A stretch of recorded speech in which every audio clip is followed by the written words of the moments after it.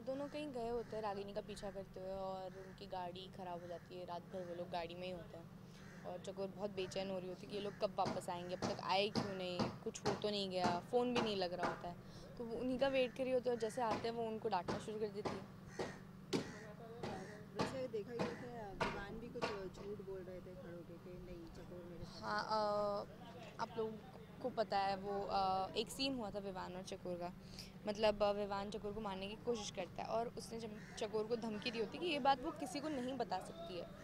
तो जब चकोर इमली को बता देती है कि वो विवान के साथ थी तो विवान डर जाता है कि आगे की बात भी ना बोल दे। इसलिए वो उसे झूठ वो कर रहा होता है कि तुम झूठ बोल रही हो। एक सीन में देखा गया था कि विवान सॉरी चकोर और सूरज एक वहाँ एक जगह ऐसे पहुँचे जब बच्चे कुछ बंदूकें और बॉम्ब्स के साथ। वो प्रोमो है। उसके बारे में अभी कुछ कहूँगी नहीं क्योंकि प्रोमो है तो जब आगे का ट्रैक आएगा वही आपको देखने में मज़ा आएगा। किस तरह चकोर लाएगी सच्चाई सामने अगर किसकी सच्चाई? मतलब लाइक आप लड़ रही हैं जिस चीज़ के लिए विवान की सच्चाई। विवान की सच्चाई? विवान की कोई सच्चाई नहीं है। उसने जो किया वो मैंने सूरज को बता भी दिया। तो कौन?